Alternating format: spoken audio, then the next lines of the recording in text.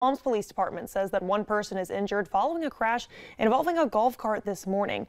According to the department's Twitter, officers responded to the crash shortly before 1030 on 28th Avenue and Hart Hartnett Boulevard. Officers say that one person suffered non-life threatening injuries and was taken to the hospital. The crash caused closures of 20 27th and 29th Avenues at Hartnett for around an hour before the crash was able to be cleared. The department is urging drivers to use caution while driving on the island.